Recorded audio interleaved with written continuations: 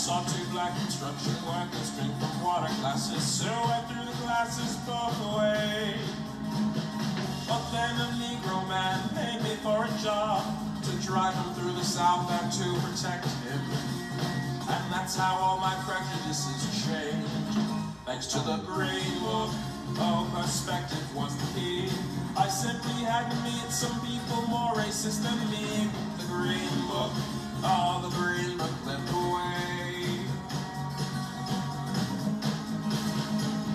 There's nothing wrong with being proud of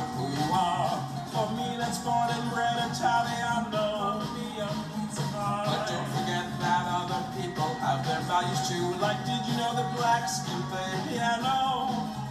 The green book's a collection of the places to avoid. And you are black and you are traveling in the south. But if you were to ask me, I would stand and proudly say, the real green book's the racism we cured along the way. God bless the green book.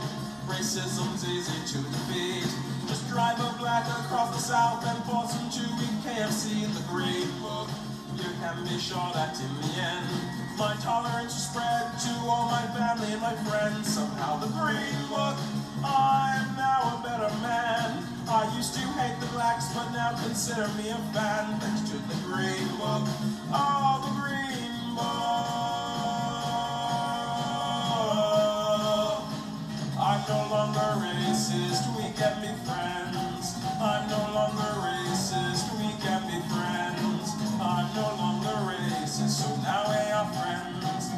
I stopped being racist, and now the black man is my friend. Ah, ah,